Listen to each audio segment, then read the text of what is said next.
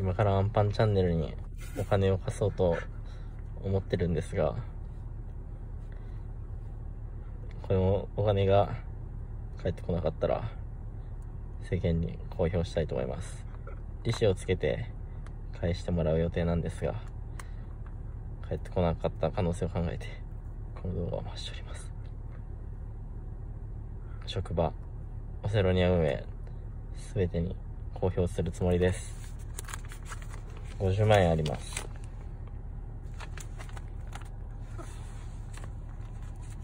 たたた確かに受け取りました。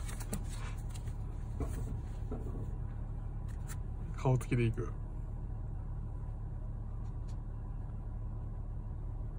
もういい。もういい。も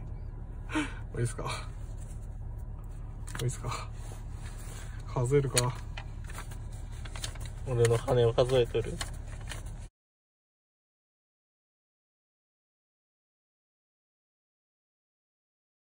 間のクズ、えークソ豚野村康介のね、LINE を晒していきたいと思います。まあ、アンパンチャンネルですね。まあ、オセロニア界隈で、まあ、一世を風靡というか、まあ、オセロニア界隈の中で結構有名人な、まあ、彼なんですけども、まあ、そんなアンパンチャンネルのね、裏の実態ということですね。まあ、一応、ミラティブ配信とか YouTube では、まあ、陽気なおっさんみたいな感じで、よーお前らっつって、うるせえ 声を荒げて、まあ、配信とかしてたりすると思うんだけど、まあ、動画でもさ、まあ、テンション高いみたいな感じで、まあ、結構なんかいいやつそうってか、まあ、割と明るいやつなのかなっていうところだと想像する人は多いと思うんだけど、まあ、実際の野村康介君は、えークソデブ、えーインキャ、クソデブピザ野郎なんだけど、まあなんかこの投資の話というか、まあそういうのを最初持ちかけてきまして、この動画を公にしてさ、なんかバズりたいとかは一切なくて、まあ所詮アンパンチャンネルと俺のパワーだから、まあそこまでの結局影響力はないし、本気で晒しても、まあちょっとやべえなこれっていう事態に、周りが見るだけで、まあ、ネームバリュー自体は実際ないし、なんかそこまでまあ本格的に取り掛かる気はないんだけど、まあ簡単に言うとかな。簡単に言うと、まあその投資元ってのがいて、まあその人が、まああの、キャバクラの経営をしてると。キャバクラの経営をしてまして、で、その人はいっぱい売り上げあるんですよ。キャバクラで。めちゃくちゃ売り上げはあるんだけど、そのほとんど客の支払いがクレカ支払いだっつって、えー、まあ、要は現金が手元にないみたいな状態で、で、その、そこら辺のなんか管理をしてる人が逮捕されちゃったと。まあ、一番上のトップの人らしいんだけどね。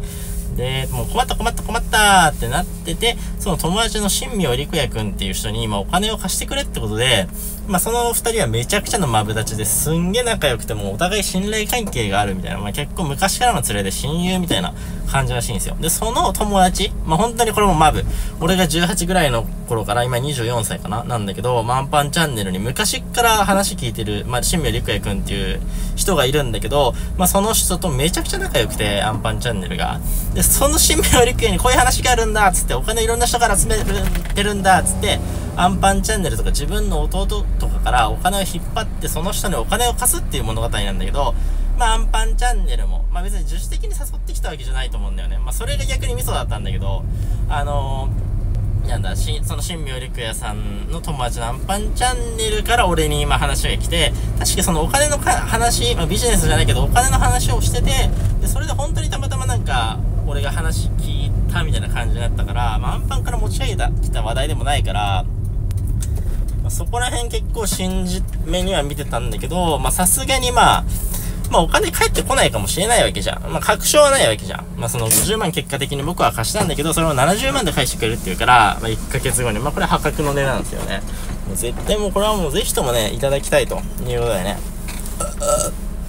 あのーまあ、お金は貸したんだけど、やっぱその、アンパンチャンネルが、もうずっと慣れ親しんでる、昔から俺が話聞いてた新明陸也君にお金を貸すってことで、まあ、その二人の間で、まあ、詐欺ってことはめ、まあ、そうないだろうし、まあ、最悪、アンパンチャンネルに、まあ、別に俺は動画とか撮らしたんですよ。だからこういう、その、お金が返ってこないみたいな状況、状態になったら嫌だから、もう絶対にお金は取り戻せるように、もう動画で、その、この動画晒すよって、もう50万貸しましたって動画を撮ったんだけど、まあもう手だよね。え、まああなたに貸しますって動画撮って、まあそれで、了承はしたんだよ、この、クソデブピザ野郎は。その50万貸しました、20万の利子まで返しますとまで言ったかはちょっと覚えてないけど、まあちょっと LINE 本当に適当に流しますわ。もうなんかいちいち突っ込むのだだるい。全部ちょっと晒しますわ。1月ぐらいにあった、その投資話の案件みたいなのにね、なの、ぐらいの話を聞いて、まあ、結局半年ぐらいかかって、まあ、やっとで一応全額は帰ってきたんですけど、もうただただ俺に迷惑かけただけっていう。その結局、その、50万円、いい話があるって俺は聞いてお金を貸しましたけど、その、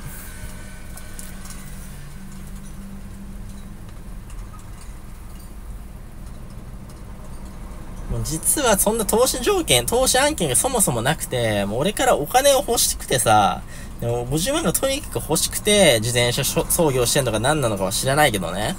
もう頑張ってさ、お金みんなから借りるために嘘ついたんじゃないかっていう、もう説もあるじゃん。まあ、それで結局半年後ぐらいに宿で返済されたんだけど、1月ぐらいにまあ貸して、1月の頭だね、ぐらいに貸して、やっとで、もう今日、今日たった今帰ってきたんだけど、まあ帰ってきたことはまあ普通にありがたいですけど、まあ単純に、お前らに貸してた50万円をさ、こうやってなんか必死にさ、なんか全然帰ってこないよとかさ、何度も LINE したりとかやりとりして、してさ、で、職場のさ、執行役員とか巻き込んで話し合いとかしてさ、すげえ話して、で、その結果、50万は一応返ってきたけど、はい、返したよーって。で、お金、まあ、特に迷惑料とかもないし、飯をおごるとかもないし、ね、フィリピンバブ、俺の大好きなフィリピンバブ連れてってくれるとかもないし、もうとにかく何もないっていう。うん、なんかないのって。単純に人間としてやばいよね。もう欠如してるじゃん、感覚が。ごめんな、もう、ジュースじゃちょっと許せないけど、まあ、ごめんね、ジュース一本おごるよとかさ、何一つないんですよ、こいつ。で、俺その態度がマジで気に食わなくて、まあ、最悪俺が絶対に立て替えるってアンパンチャンネル言ってたんだよ。だから別にもう新名陸也とか、その大元の春樹くんとかどうでもいいんですよ。こいつが返すって、ね、俺の頼れる、まあ、大先輩なんですよ、アンパンチャンネルって。まあ、結構信頼できるおっさんというか、まあ結構好きなクソデブ野郎なんだけど、まあ、こいつが結局、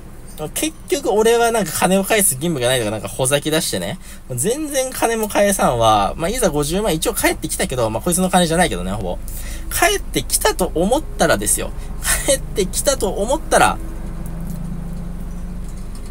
もうこれで終わりだよって。いや、迷惑料話すってさ、その動画、これからまあ公開しようと思ってる動画、まあその先輩、執行役員巻き込んで、3人で話し合ったですけど、ね、その動画外かな？でも迷惑料はなんか払うよって、まあ1万かわからんけど、まあ、まあ多少は払うよって話してて、まあこの詳しい話は、その、なんだまたさっき執行役員の人も言ってたけど、まああなたもフリーになるから、まあ本当に全部終わってから一回話しようって話を俺は聞いて、まあこいつ適当言ってんだとは思いましたけど、まあ泳がしたんですよね。あ、オッケーって。まあそしたらこれと。まあ本性が見えちゃうよね、やっぱ。うん、ゴミっていうか浅ましいというか、さすがに俺がこいつの立場だったら、まあ後輩に迷惑かけたから何かしらしてあげないとなっていうロジカルになりますわ。しかもこいつの何がひどいって、あのー、3月のもうあんま覚えてないんだけど、3月の終盤あたりに、そのもう、お金すら返さないとかなんか言い始めて、まあ、結局こいつはもうそうやって宣言もしてるし、お金返しますって。まあ、最悪陸屋とかその実家行っていろいろやりますって話をしてんのにもかかわらず、もう、でもまあ3月の終盤ぐらいに、まあ、とりあえず20万ぐらい返しますって話はしたんですよ。あ。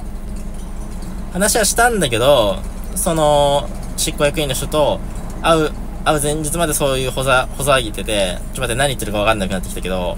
まあ、20万とりあえずこいつが返しますって代わりにね、立て替えて返しますって言ってて、で、それで、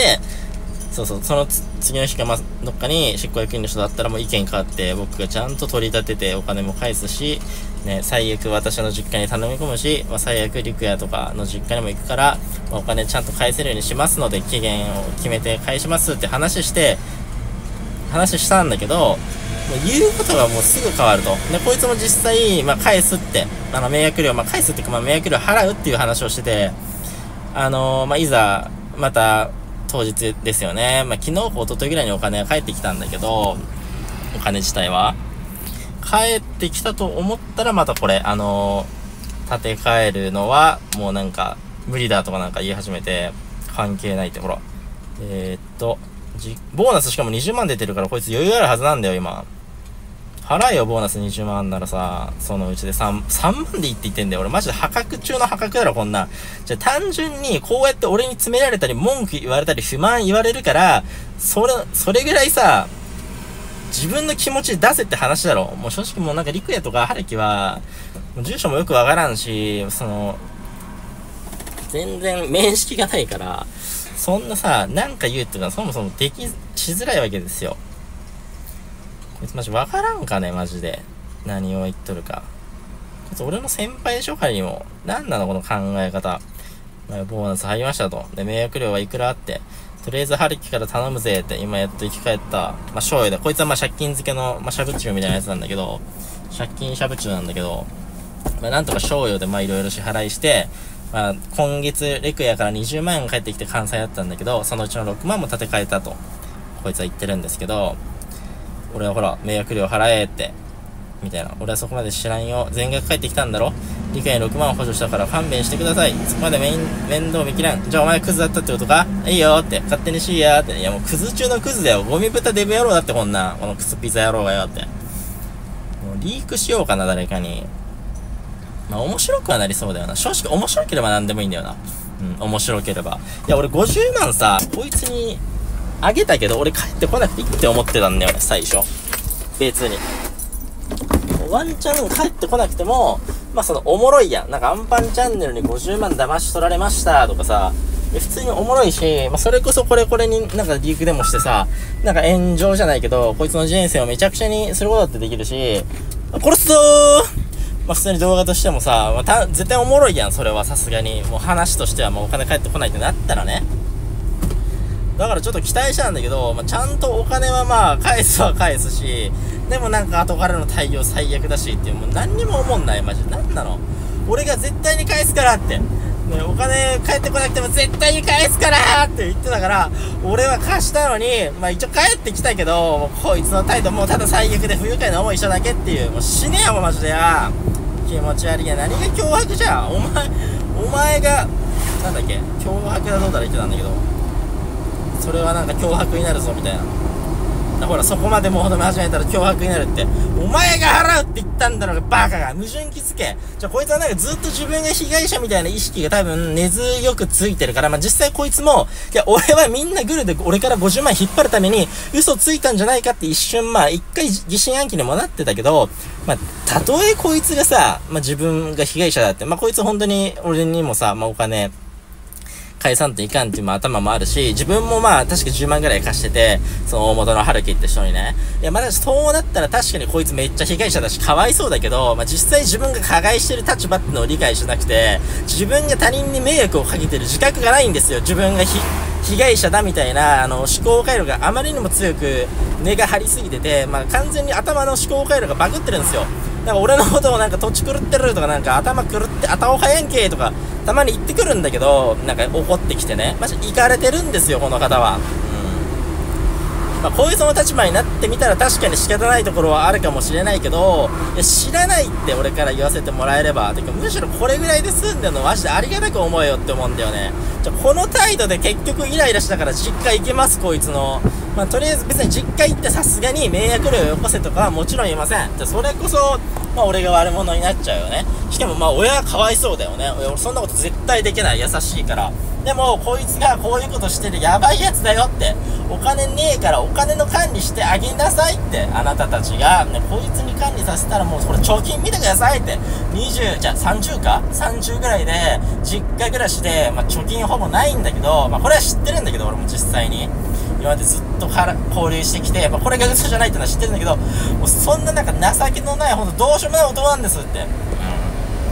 後輩から金借りて、なんかもう半年くらいなんか何にも返せずになんかしな、しまいながらブチ切れてくるとんでもないやつなんですよって。もう LINE も全部見せてさ、言いますわ。これはね。言わないでって言われてたけど、まあ、こいつの親は関係ない。もう単純に腹立つんだもん。なんでこんな態度取れるの？だからそういうことされないための迷惑料とかそういう話なんじゃねえの気持ち悪いな。もう誠意がないならやるよ。これは脅迫ではなく、事実報告をするだけで、それを譲って金を取るとかじゃない。てか、まず法律家何にも知らないのにさ、脅迫でどうたら言ってんじゃねえよ、あの豚野郎や。ほら。えー、全部金持ってきたんだから文句言わない。ちょ、運転中なので今声でかく喋ってます。全部金戻ってきたんやから文句言わんでくれ。頼むから。俺らは春樹に毎回な頭悩ませるという。いや、本当にお前らが頭悩まされてんなら、まあ本当かわいそうだけど、かわいそうだけど、俺からしたら知らないし、春樹とも会ったことないし、そんなお前らだけの知ることじゃんっていう。お前らがグルになって俺を騙してない証拠なんて一切ないんだからね。その、毎回毎回延期されてたんだけど、この日に返します。無理でした。この日に返します。無理でした。この日に帰りま、返します。無理でした。めちゃくちゃ続いてたんだけど、そこら辺のその証拠っていうか、なんで返せないかっていうのは、まあ、要は、まあ、いろんな契約で話を進めてたんだけどさ、なんか保険をなんか下ろすとかなんだとか、一切書面とか見せてもらったことないし、まあ帰ってくんなら別にどうでもいいのスタンスだったから俺は、まああんまり関与してなかったんだけど、何にも証拠は提示せずに、なんかただ俺たちのことは信じてって言い張ってるだけのバカです。うん、頭が悪い。えー、東京行って問い詰める陸也と二人で LINE 既読するし、俺のは黙れ。おめえの LINE、さらしょんだ今、アホ。いいからもうちゃんと金返せ。な、こういうこと言われるとちょっと困るよな。なんか、陸也と二人でなんか行こうかなと思ってまーすとか言ってるけど、これでワンチャン迷惑料を引っ張れるなら、まあ、迷惑料とかちゃんと利子分返してもらわないと困困るね。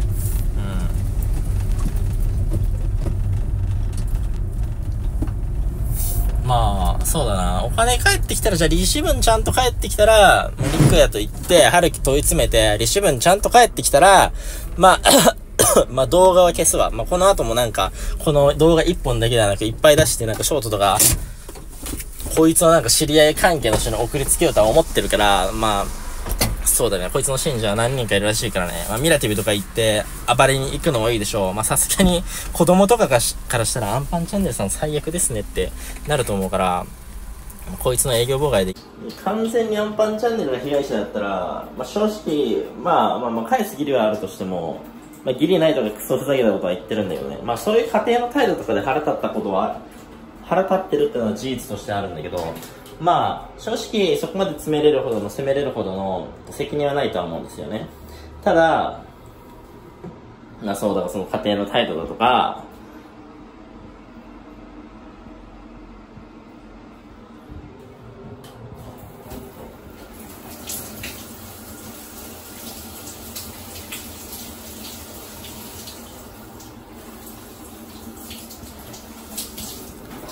遅延することに対して軽すぎるっていうか、もうその、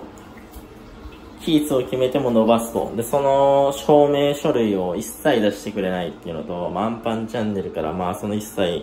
そこら辺について取り合ったり、証拠を出したりしないから、俺にこれだけ文句言われるのも、まあ当然ですよ。うん。それはマジで理解してほしいですね。はい、今からアンパンチャンネルをね、えー、尋問していきたいと思います。え尋問するリストというか、あの、表は作ってたんですよ。質問する、何を質問するかみたいな。でもそういうの一切忘れてしまったので、全然人に聞かれてもいいけど、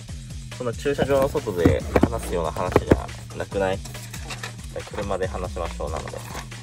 どうぞ。今日は借金の話をしに来ました。アンパンチャンネルと。そういうスタンスでいくのそうっすね、もう。あ別にカットとかったんでこれもう裁判の何でも使えるので。確かに。質問、質問していこうと思って、そのなんか紙にいろいろ書いてたんだけど、その紙忘れちゃったから、はい、もう一個ずつちょっと頑張って、まあ話そうと思うんですけど、まああの、陸也さんに50万まあ貸して、まあそれを陸也は、あの、まあ俺は債務者じゃないとかも今言い始めてて、その、まあ、陸也が要は春樹に金を貸してるわけじゃん。でも俺はその陸也に、まあ、金を貸したつもりっていうか、まあ、なんならアンパンに、まあ、お金貸したとも俺は認識してるから、そのまあ二人に一緒に。あのー、もう春樹の話とかそもそも直接何も聞いてないし、その書類上の文面とかも何も俺は見てないから、から要は俺がさっきから LINE、さっきからっていうか、前からの LINE で言ってた内容としては、そのアンパンチャンネルとその陸也が結託して、お金が欲しくて、それで他人からあのお金を巻き上げたと。そういうことも正直考えられるっていうか、それを否定することはできないじゃん。そう。で、そこに関して、で、要は別に最初はそこまで疑ってなかったんですよ。まあ別に、まあそうだとしても、まあ金返ってくれば別に問題ないと。でも、陸也さんが、まあ期日を設定するんですよ。あの返済期限を。まあ一回、春樹さんが要は、返済期限1月20日ってなったんだけど、まあそれは帳消しになったというか、まあそれが、もううやうやになって、まあみんな返済されてないわけじゃん。で、しかもその期日の設定も曖昧で、まあ、1月18日からなんか20日までにお渡ししますので、みたいな意味不明な、そのお金に関してそう、そのずれるみたいな意味不明な期日設定で、まあ、それでは意味がないっていうことで、我々理解さんに言って、で、それはまあその通りですねって。っていうことで、まあ、リクヤさんもちゃんと明確な期日を設定してくれて、お金50万返す段取りとして、友達の保険金、まあ、積立保険があったんだけど、それをその解約する形で、岡田さんにそのお金を元金としてお返ししますっていうことで連絡があって、まあ、俺はそれでいいですよと。で、まあ、3月の確か、まあ、いつかに、その話があって、まあ、実際それも、まあ、期日設定してくれたんだけど、まあ、帰ってきてないと。で、まあ、4月20日にまた、その、まあ、別のつてなんだけど、まあ、保険金の解約でお金返せるってなったけど、そのお金は保険金が横流しされたらしいって言うんです言うんですよ。意味不明じゃないですか、そもそも。保険金が横流しされるって何っていう。まあ話聞いて、まあ多少話聞いたけど、やっぱ意味わかんないし、まあそこに関しての書面上の話とか、何にもまあスクショとか証拠とか、何でも取りようがまあ、あると思うんだけど、まあ多少、まあこういうことがあったよみたいな話で、まあ証拠にはならないとしても、まあ多少その用意できると思うんだけど、まあ一切何もなくて、まあ文面での説明のみだったんですよね。でまあ結局こうやって帰ってきてないっていう謎の繰り返しがあるから、うん。まあ、返す金がないってのは確かに、どういう状況であっても同じかもしれないけど、まあ、やっぱこうやって、たらい回しに引き伸ばしにされて意味不明な毎日を送ってると、まあ、変な言い訳を続けてて、まあ、お金返せない言い訳をしてると。で、最初から50万が欲しかったんじゃないかなっていううん、ロジカルになってきてるわけですよね。で、そうなってくると、まあ、アンパンチャンネルケツ持つって言ってたじゃん、最初。まあまあままあ。俺が全部、まあ、最悪の場合ね、あ。まあ、俺がケツ持つって話で、まあ、そういう証拠の文面もあるし、はいまあ、その動画でも、まあ、アンパン、まあ、だからこうなることは、まあ、多少見越してだからアンパンチャンネルに直接、まあ、その、貸しますっていう動画も、まあ、これは、まあ、口実だけど、撮って、まあ、僕は、僕としてはだから保険、それを保険かけて、うん。いろいろ立ち回ってたのに、いざアンパンチャンネルは、まあ、自分、3月の末ぐらいに、じゃあ4月とかだっけまあ、あ、ん4月。4月10日にまあお金返すみたいな一回話になって、うん。じゃあまあ25万でいいから、別に全額じゃなくていいから、うんまあ多少、なんか自分の車もまあ買い替えるとか、まあなんか、なんでもまあ最悪手段はあるわけじゃないですか。親に相談するとかね。なんでも。で、それで、その、まあお願いをして、して、で、25万用意してねって話で約束して、で、承諾をしてたんだけども、まあ、実際その当日になったら、まあアンパンチャンネルは、もう俺は、そう、当日になって、まあ、当日っていうかその前日になって、やっぱ俺関係なくないとか逆ギレしてきてうん、まあ、LINE で結構絶戦をしてたんですけど、うんまあ、それは正直意味わかんないと。まあ約束そこで、まあ、一回仮にしてて、で、それもヘゴにされて、まあ、現状こうやってお金も1円も返ってきてない。1円も返ってきてないんですよね。この状況が続いてるから、さすがに意味わからん。で、リクヤが、まあ、飛んだら俺がケツ持つって話で、って言うけども、まあ、結局期日何度も過ぎてるし、こんなの、これ何？ずっと待ち続けてってねって話ですか？僕に。このまま。何もせずにで、とそ。こに関しては、で、そのリクヤになんか話しとくとかも言ってたじゃん。言ってたのに全然言ってないし、まあ言ってるかどうかわかんないのよ。報告がないから。うんで、あと、なんだっけ？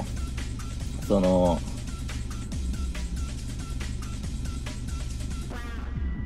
忘れた。とりあえず、俺としては、もう、陸也に任せっきりにしとったのが多分悪かったと思う。どう考えても。そうっすね。しかもで、報告もないし。で、それを、あいつがもう解決しようと思って、俺もほったらかしにしとったのが一番間違いだと思うんで、で、期日も結局、岡田君と陸也と勝手にやり取りしただけ。うん。で、俺はその現状知らんのに、任せっきりにしとったのが悪いと思って。だから、あの、今日せっかく川原さんを、あの、出すってことは、もうちゃんと期日を、この日ってもう、第三者も踏まえてちゃんと決めて、そう、なんか LINE で俺に対して、なんかお前の言ってることはおかしいとか言ってきてたから、絶対それはおかしくねえだろうと思って、でそこで母さんに相談したんですよね。まあその、要はアンパンの実家とか、うん。理科の実家行きにあたって、まあ確かにこっちもヒートアップしてるところあるから、うん。そこら辺客観的にっていうか、まあ第三者視点で、うん。まあ冷静に見てくれる人が欲しかったから単純に僕としても、うんその、この内容の話をするっていう、まあ練習じゃないけど、まあ一回その、用意動作として、まあ練習もできるから、うん母さんにってことで僕は話してたんですけど、まあやっぱり、おか、おかしいっていうかまあ、か、で、やっぱり、俺もね、あの、理解もそうやけど、まあ、紹介した責任っていうのはあるので、ここはもう完全に期日を決めて、で、ここでもう住所も教える。理解も。住所はもう、見つけた。見つけた、見つけたのはいいけど。で、もしその期日を守れるのであれば、まあ岡田君処理とずるのは大変かもしれんから。それはでもアンパンチャンネルが行くのが俺は筋だと思うんですよ。そうだから俺があのあいつの親に土下座してでも話すそこは。まあ一緒に行こうとは思うんですけどそそうその期日を守れんかったんだよあいつも俺もその岡田君に話聞くまでその期日を伸ばし伸ばしにしとって知らんかったもんで。で聞いた合図に行ったら実際はいっぺんに払ってるわけじゃなくてなんか分割で払ってるとうん。俺には50万いっぺんに返す当てがあってそうしたって言って。あじゃあ俺もそうやって言われてたんだけどで結局その伸ばされてるから。でその伸ばしてる話はあいつは俺に言ってないわけさ。ああ。でも俺言いたくない？そうで岡田君から聞いたもんで俺はその現状を知っただけであいつ本人から聞いてないわけさ。で結局それだと結局誰が誰がって責任転嫁になるよ。だからそういうのをもうやめようと。もう期日を決めてそこを超えたらもう親に頼むとで俺らが立て替えてもうあの俺らが春来たら取ればいいわけ。うんそうそうやと思いますそそれも。だから利子までとは別に言わんけど、まあ、それが普通になんで俺が動いてんのかがまず全然わかんないんで。あいつは結局あのそれを親にしたくないもんで、まあ、仕事してるわけね。そうですねあのちょっとその話もしたんですけど、ん。それだけはやめてほしいっていうことでで本当にやめてくださいみたいに言われてじゃあいいよって言って俺もなんだっけ 6, 6月の8日まで待ちますよってうん。話はしたんだけど、でそこら辺の多分キーズの設定もお互いでなんか違うんでしょ、どうせ。でもしかもキーズ設定するって言うけどでそこに関する誠意が見らないっていうか、その結局キーズってもう延長してるのにそれを設定したところで本当に守られるのかっていう。それを守らざるを得ん状況を作るために今の実家の話をもうここで。いやだったら俺別に明日にでも行けばよくないっていう感じなんですよ正直こっちとしてはね。こっちはでもただそれだと準備ができんとただあいつはそのいや親のし親次第でしょあのそれ6月に例えばな期日を設定してそれまでに準備できるっていう話だったので6なななんだっけ？月だったんだよあいや俺は6月って言ったけど陸也は5月10日って言ってるって弟は言ってましたよ。そこら辺もずれてんじゃねまだ認識。それで後でそれは電話して期日はちゃんと決めて、うん。もしそこを超えるようやったらもう俺らも何も文句は言わんねそこはだってもう決めたことやで。だからそれを立ち会い人として顔発信立ててもうあの言い逃れできるようにするとまあ動画撮るのも手やけどそうそう、それも含めて、もう、この、その、例えば期日をここって決めたら、もうそこはもう100%守らないと。もう今まではなんか裏回りにしとったよ。例えばあの、何月までには準備できますみたいな感じだったの、多分。とりあえず10万円割りますみたいな。それをさせずにもう残り今18万5千円だったっけ？東万5000もらってますねその、とりあえず、まずは元金の、あと残りの31万5千うん円をその期日までに返済すると。うんでなんかキーズの話したって言ったけどそれは何月何日だったの？とりあえず期日の話は、あいつが準備できる日付があるもんで、電話するわって言ったんよ。あの、あいつにな、俺から。で、ここでスピーカーで話そうと。うんで、その話を、二人やとさ、聞いた聞いてないってあるやん。うんだから、川橋さんが来るんなら、一緒に聞いてもらえばいい。母さん今度な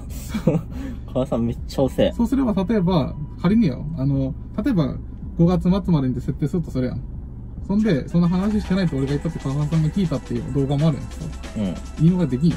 現にもう言い逃れできんよ俺が訴えたりしたら全員まあまあまあ。マジさなんかやばい状況にお俺理解しとる全員みんなその50万返して「はい終わりです」でそんまあ済む済むけど別に法律的には。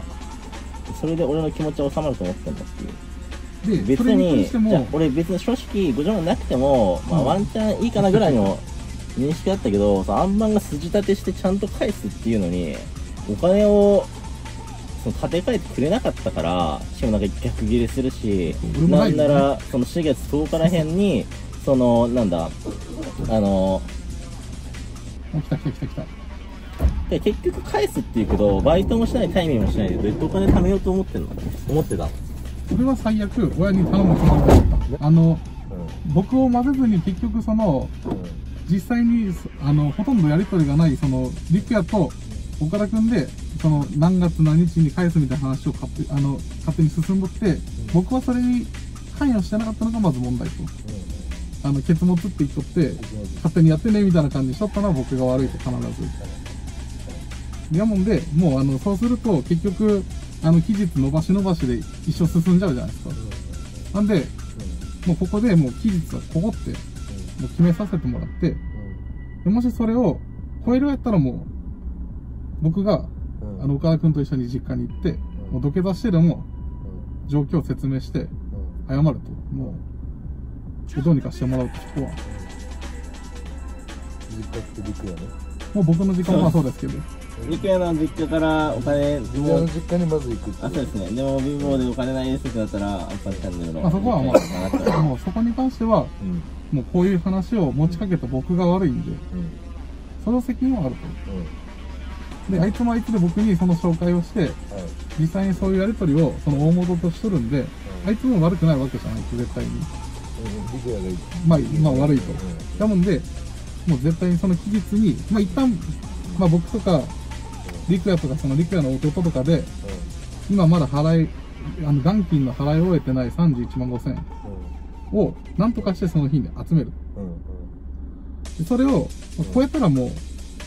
僕ら何も言えないんで、これはこれが証拠になるの？これもですし、まあ、まあ川原さんが聞いとるってのも、まあ、証拠になるんで。証第三者そうそうそう。でそれはさその陸也はこの話を知ったの知らんのあ、陸也は一応とりあえず、今日3人で話して、電話で期日を、もう何日までに準備できるってのを言ってくれということで、ん。で陸也にその証拠を残させてるお前はん？陸也にまずその証拠を残させて何日まででそれはまあ動文画で。動画で。ああまあ電話するらしいんで。そう、それ今から電話するもんで、うん。電話と文 LINE でも残させるああ文面だよね。でまず電話してスピーカーにしてで陸也に何何月です何月ですいやなんか相手次第とかなんかでわけわかんないこと言ってあいつがそのお金を、あの、準備できるって言ったんですけど、その期日は電話で話すって言ったもんで、うん。だからまあその期日はうん動画で話すっていう動画っていうかもう今ここで電話して話す。あここで話すってはいでそれで準備できんければ、それは僕も責任があるもんで、僕もケツボタンなんじゃないですか。なんですよだこれ保証人ってことですね。保証人。そうそう。まあ、簡単な話、陸也はもう逃げようと思えば逃げれるわけやん。うんで、それをさせんために、もう僕が最悪、もうあいつがもうどうしても払えてたら、僕がもう土下座してるも何してるも、とりあえずその31万5千円準備ささせてもらって、であとはその大元から僕らがそれをもらえばいいわけなんで。でここで初めてはっきりした約束と大義の英文が立つってことなのいや別に前から立ってるしもう延長してる分に関してはワービングでも何でもしていただかないと俺は困るなって思ってるんですけど、うん。まあこういうつもりなので、まあ、ちょっと話は聞いておこうかなって感じですね今までは完全にもう伸ばし伸ばしになってたんですよ。で、最初僕がその陸也から聞いたのは、お金は準備できるもんで、50万円まとめて払うと。最初それを聞いてたんですよ。で、僕も分かったって、で、結局、分割になってて、で、その状況を僕は陸也じゃなくて、岡田君から聞いたと。理解じゃなくてそうそうそう。そうなんですよ。で、あいつにも聞いたら、そういう状況やとお金がすぐに準備できるんでって言分かったじゃあって伸びてると。その何伸ばした伸ばしたことについてのそれは何？康介なりの提案なの？そうですね。まあ、あの、僕も全く人事やと思って接してたんで、もうあいつに任せればいいやっていう。あのすいません。だから、うんあのそう、だと思ってると認めましょうって認めたい、もうあいつが全部段取りをするって言ったんで、僕はもう任せっきりでやってました。これ本当申し訳ないです。もうそれはやめると。そうそれをやめて、うん。もうここでちゃんと期日を決めて、もうそこは、あの、そこをもううやむやにするなら、もう俺はもうそこは責任を持つ。で前から別に期日伸びたら責任も動画撮ってたんですけどねそうそれはもう、あの、なんて言えばいいか。それはもうなんか、あいつが払ってくれて俺も信用して、もう半分、まあ、適当って言うと変やけど、適当な感じで、まあ、あいつが払ってくれたらいいやっていう感じだったんですよ。ただ今の現状は、あの、分割でちょっとずつしか払ってないと。だからそれはあかんかなっていう。まあ、じゃあとりあえずリクエンじゃなくてそうですね、一回かけて、話を混ぜた方がいいかもしれない。一緒に。俺は喋らん方がいいのかリクエンのえ、どっちでもいいですよ。ああなんかやばーってなったら話してくださいね。何これみたいな。嫌なこと言い出したら言えばいいんやなそうですね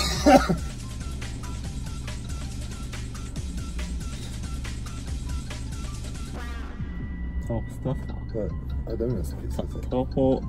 えアイコスやえいい。はいタバコ欲しい。アイコスや吸それい。いやん。俺が終わった後にする俺もフィリピン上に前させてもらった。もしもし。とりあえず今、あの、あ、伸ばし伸ばしになっとるのは、完全にこっちの責任やと、あの一括で払うって言ったのに、結局分割になってると。で、結局、明確な期日を設けとるわけでもなくて、で、なんか期日もうやむやに流しとると。でその現状、その現状が、その現状があるから、もう今ちょうど第三者もおるんで、もうここで明確に期日を決めて、でもそれが過ぎたらもう、俺もお前も、親に土下座してでも金を準備させると。っていう話になったんだけど、いいですか？それで。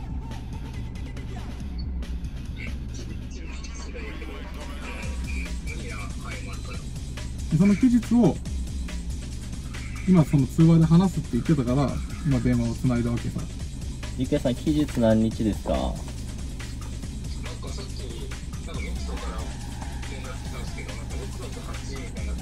そうですね、僕はそれぐらいに返してくれる。まあ2ヶ月ぐらいなら全然、まあ待てるかなってぐらいなんですけど。そうですね。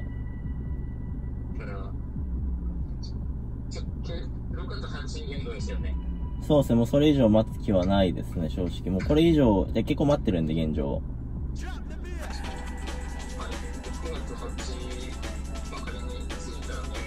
はい。そうですね、リッケさんの方から言ってほしいですけどね、親の方に。はい。はい。いやダメだそんなのお前あのもう行くってじゃあ話、事情を説明してもらって、でで別にに僕が言っても問題ないように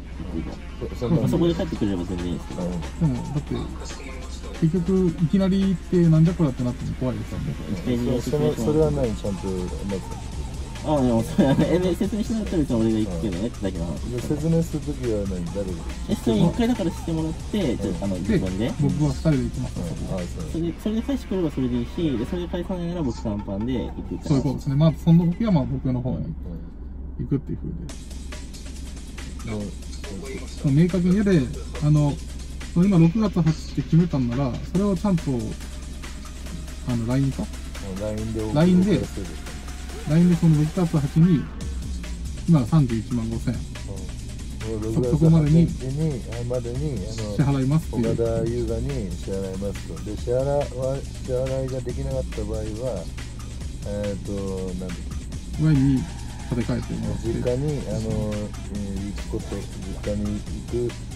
実家が保証人でいいね。それっていうかまあまあ、、最そこ保。証の俺保証。実家保証で、実家もやめなら、野村康介の、野村康介から取り立てる。うんそれでいいのが、はい。それを、後で、あの、LINE で文面で送ってほしい。岡田君に。期日と、金額と、今のその実家に行くっていう経緯を。そ、そこを、あの、守れない場合はっていう。これはもう、あの、岡田君動画も撮ってるし、第三者で証人として立ててるんで、そう、だからもう、守らんかったらもう、本当に動くよっていうことになったからね。もう動くっていうのは脅迫じゃなくなるよってことですね。もうこれもう動いても、動いてももう、あの、俺も、う ん何も言えん力はもう何も言えないと。もうむしろ、あの、俺らが悪いと。仮に実家に立って。まあそうなんやけど、これでもう明確に期日を設けたんで、もう、そこ超えたら、もう、何しても。なんでもするわ。そこはもう、あの、約束やから。他はしちゃダメまあまあまあ、あの、犯罪者にならん範囲です。どうしてもお金引っ張れないんでダメなんで。だからそこはもう、そこ、既読ミスされますね、大体。俺と一緒や。俺と一緒や。はいやりと、やりとりしてるんですか？なんか。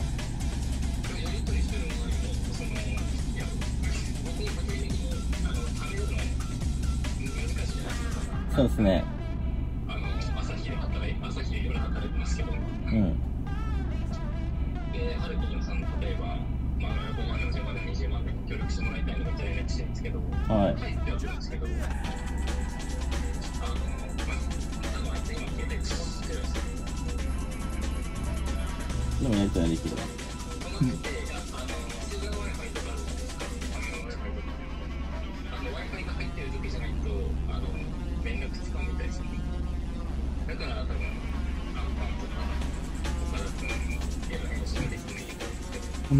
こいつ気持ちいでやあとは迷惑料そう迷惑料があるんでそいつはまたこいつ次第だからもう約束そいつはまたちょっと、あの、僕らの余裕ができるのとちょっとやっぱり難しいもんで、そこはまたちょっと考えてますそれ。はお前マジやだなやめて本当にやめてんじゃねただ、僕らも全くその元金だけえ返すっていうのはおかしいんで、そいつは一応話はしてます。そこに関しては。ただ、僕らも、あの、その被害者の形でもあるもんで、まあ、お金はないです。そんなこと言わない利子の話はするそう、とりあえず、まあ今の31万5千円は、なんとかやってます。はい。6月8日。はい。早くてもいいよ、そう、早く、早くできたら早くすると。はい。なんか弟から連絡来て、あの、そう弟もなんかグループに入ってるんですよ。なんかその、投資グループみたいなんなか申し訳ないお兄さんがあの迷惑をかけて僕もお金全然返ってないんですけど情報交換しませんかって来てちょっと電話しましょうってなって電話話してまあなんかいろいろ聞いたんですけど僕もでその住所とかも教えてもらってでこれは僕の方から言ったって絶対に言わないでくださいって あのうんちょっと言うそうと。えでもなんか聞こえてるかわからないけどちょっとまあもうどっちにしても、そのぐらいの責任はある、どっちにしても。別に弟が人何しようが、住所は。伝えない。た教えてって言っても教えないんですよ。あいつが絶対に言わんでくれっていう、その住所。を。なんかその自宅、自宅には絶対に来てほしくないって。言って、言えよだからそれを、僕はとりあえず、あの、どうしようっていう今状況だったんですよ。今川沢さんに話して、3人で話すって話になったもんで、やったらもうここでそういう約束をしようと僕は思ったんですよ。でも単純に、とにかく、もう LINE の内容が腹立ったんで、で、そこに関して、これどうやったのっていう、その、ディベート大会を今日広げようっていう、あの、やつやったんですけど、うんなんかその、その前の態度は要は舐めてたっていうことだったんで、追求するのはそこは。何あの、LINE の内容が、もう本当に、自分は関係ないとかなんなら言ってきたり、その俺に責任があるとか、でまあ、確かに俺の責任はもちろんあるけど、そんな、その話の本筋には正直関係ないと。問題の解決にも、全くその論題に当たる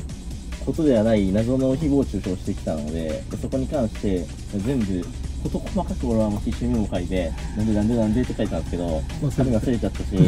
そのもうその時は舐めてたって言ってたんで、まあそこら辺はちょっと話をめました。結局もう僕は、まあ大人になって大人になったって別に話す価値ないですもんね。そう舐めてたんですとか言われたら。結局もう、あの、あいつが払って、すもうあいつ払ってくれるわ、みたいな感じだったんです。いやで、もう払うって言ったんで、僕はもうそれを信じきって、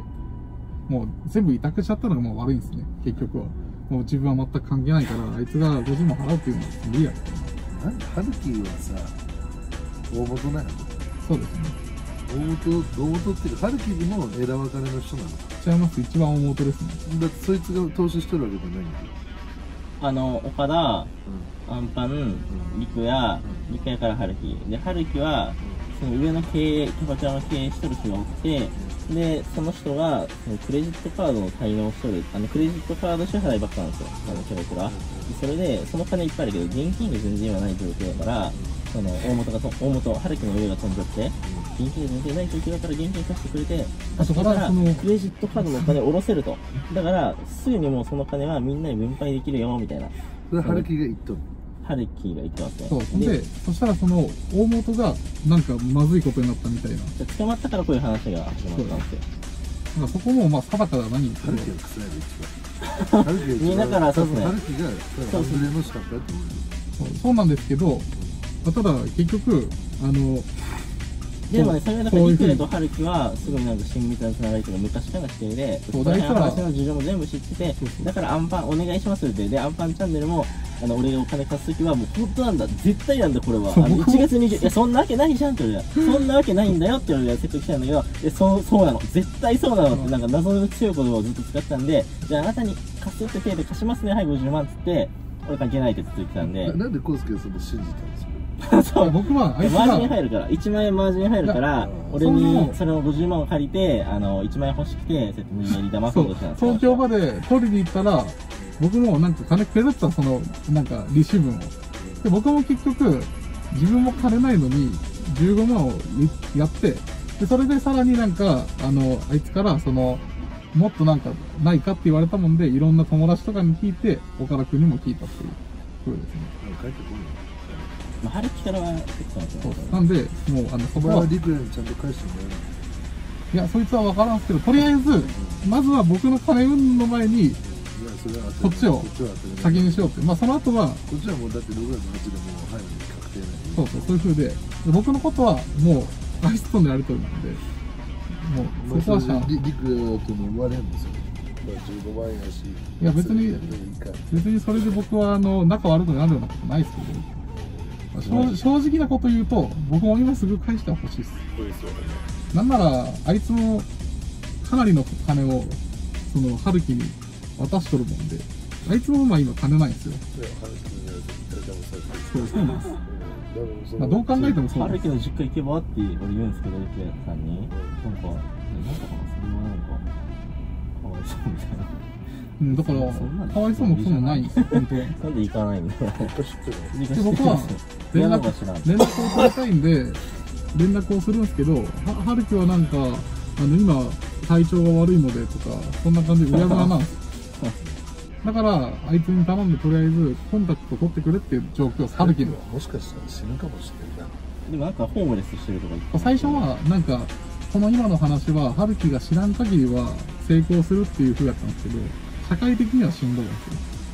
入ったなしなんかそうなんか闇金に全部取られて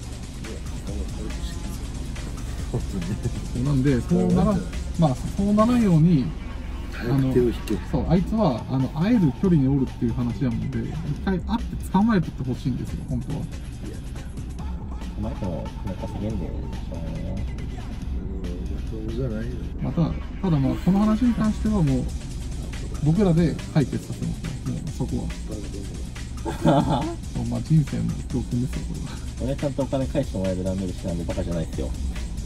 すんだよ。パワーバカですあとりあえず今の31の5000はもう6月8で、はい。切ってもらっていいです、そこは。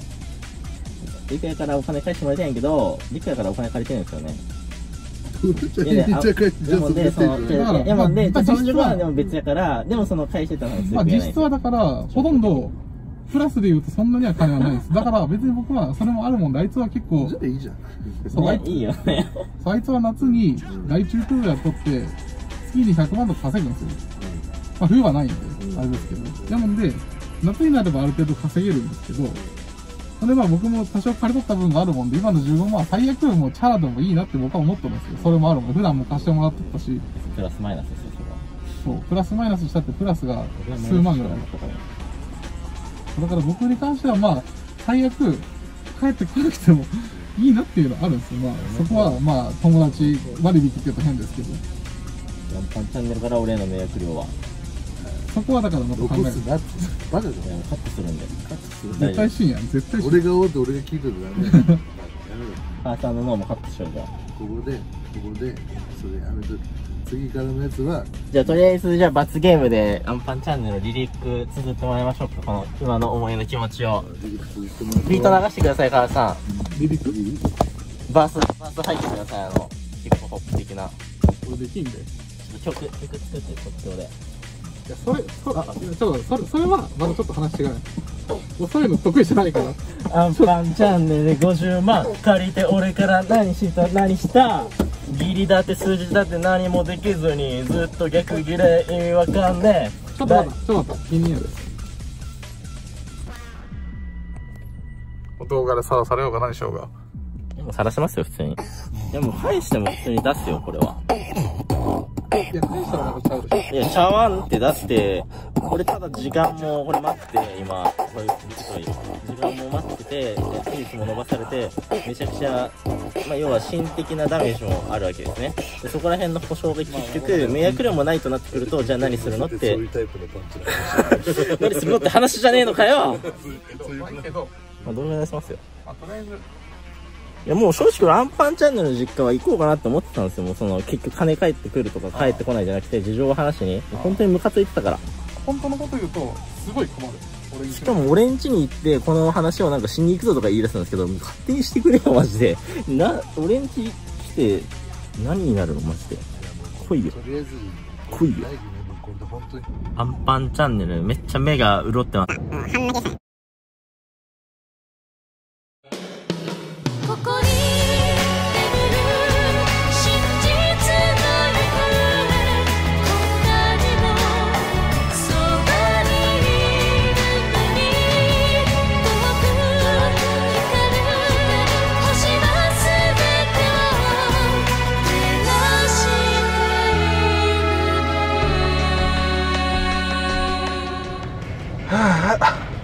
俺はな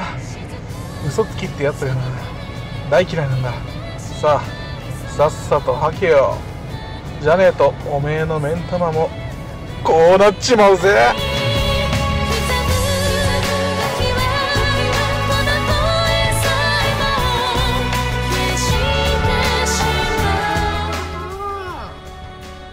できた。ハイカロリー。うどん最強のうどん。ハイカロリーうどん。そもそもアンパンチャンネルとの出会いは、まあ、あの僕が18歳ぐらいの頃に同じ会社に入社して、まあ、新卒として入った時に、まあ、大先輩として、まあ、訓練して、まあ、いろいろものをとか教えていただいてって、まあ、そういう関係なんですけど、まあ、今は本当全く関係ない部署で仕事してるんだけども、まあ、その当初はまあそんなんじゃなかったけど、まあ、19歳ぐらいになった時に、なんかお金まあ5万とか3万とかだったから貸してくれとか言ってきて、でまあその頃はまあいいよっつって、でもまあただで貸すのはさすがに嫌だからって言って、まあなんか利子を取るとかってのもやっぱ、まあかわいそうじゃないですか。で、申し訳ないから、俺は別に利子は取らないから、つって、まあなんか飯でもおごってくれたらいいよっつって、まあ飯2回3回おごってっていう話して、確か。お金貸す代わりに。まあ、その新卒の、まあ、まだ PayPay の子から金借りようとする時点でまあよくわかんないんですけど、まあそういう時もまあ人にはあるかもしれないと。まあ普通にお金貸して、あ飯1回は多分おごってもらったんだけど、その2回3回って話確かしてたはずなのに、その、もうなんかいいでしょみたいなことを、なんか自分ルールでなんか言い出すんですよ、急に。そこも意味不明ですよね。マジで気持ち悪い、浅ましい人間というか。で、まあ、また、まあ、20歳とか19歳後半かわかんないけど、まあ、どっかのタイミングで、その、また僕が未成年だった頃ですね、法も改定されてなくて、どっかのタイミングでまた貸してくれって、えー、でも前貸し、な返してくれないわけじゃないけど、別に帰帰ってきたけどね、もちろん。そのまあ、約束若干破られてるし、もうダリーって感じで、嫌だ、みたいな感じで言ってたんだけど、あっちから利子つけてもいいから、つって、まあ利子つくならまあ、こっちも結構旨味あるしな、つうことで、まあそんな大した利子じゃないけど、まあ、10万貸して、まあ1ヶ月1万とかなんかそんなもんのしょうもない、しょぼい利子なんだけども、まあいいよ、つって。まあ一応、返済はいつも延期されたりするけど、まあしっかり返してくれるし、まあ利子もちゃんと返ってくるから、まあそこら辺はいいとして。まあでもちゃんと約束はなんか守れない。まあきっちり100%約束を守れるタイプではない、まあダメンズだったんだけど、まあそこら辺、そうだよね、しっかりしてないっていうのをちゃんと分かってたから、まあここまでやったってのもあるし、まあそもそも貸さないのが正解だったかな、今回はって思いましたね。まあただストレス溜まっただけだったんで結局、金は返ってこない、面白くない。何、何を得た俺は？てか肌汚すぎだろ。肌汚すぎだろ。ブツブツまみれやないか。毛穴の問題やろ、これ。じゃ、脱毛は言ってるんだけどさ、